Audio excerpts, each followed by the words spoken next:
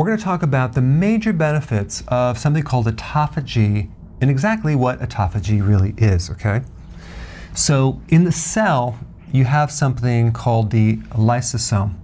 And lysosome is like the garbage disposal. It's like the recycler, which takes all the damaged parts and breaks it down, has all these enzymes, and then it spits it out as free fatty acids and amino acids, which are the building blocks to make body tissue.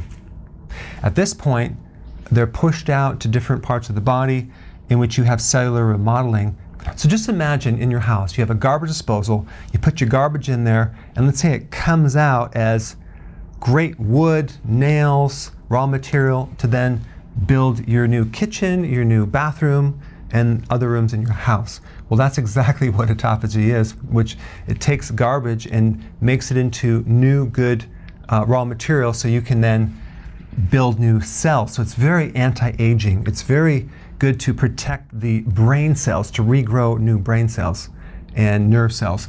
It's great for the heart to regrow new um, heart cells. So it's very protective against the immune system as well.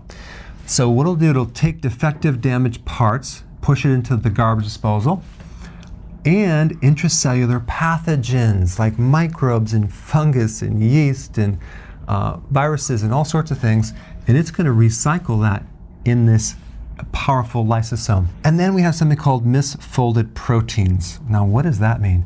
Well, in your body, you have all these structural parts. You have um, different parts of the cell, and they're all different types of combinations of proteins. They basically have different shapes.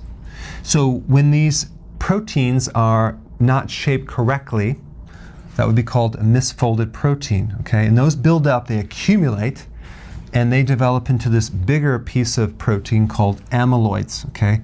Amyloid deposits um, are what you see in the brain of an Alzheimer's patient, Parkinson's. Uh, a lot of times you see it in diabetics with the arteries, cataracts. There's a whole bunch of diseases called amyloid diseases in which this kind of plaquing or protein plaquing plugs up the body. Okay? And those are basically just the accumulation of misfolded proteins. And these proteins can be very, very toxic. Okay? So your cells can take these recycle them into new raw material that can then be uh, used for rebuilding.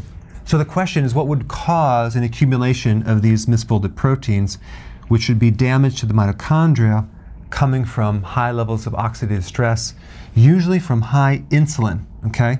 And I've done videos on this before. We talk about the connection between insulin resistance, which is high insulin, or high insulin and Alzheimer's and Parkinson's. Well, this is why, because of these proteins that get uh, shaped incorrectly and they plug up the whole system. So you can see there's some major benefits for autophagy. You have neural protection for your brain and nervous system, regrowing of brain cells, cardioprotective for the heart, you have immune protection, it's anti-aging, and the list goes on and on and on. And of course, the biggest thing that will trigger, the most potent thing that triggers autophagy is fasting and intermittent fasting, okay? Another reason why you need to start doing intermittent fasting, it's the most powerful thing because it corrects insulin resistance, it keeps insulin down, and it'll start to trigger this survival mechanism. It's counterintuitive. You would think if you're not eating, or you're fasting, you're just going to starve and deplete your body, but it goes in reverse. It goes into this protect mode and enhances your survival. Very counterintuitive. Taking all this damaged stuff, putting it through the recycler, coming out with fresh new material that can be used for uh, regrowing uh, tissue. All right? Thanks for watching. Hey, if you haven't already subscribed, press the button below and I will keep you in the know. Hey, that rhymes.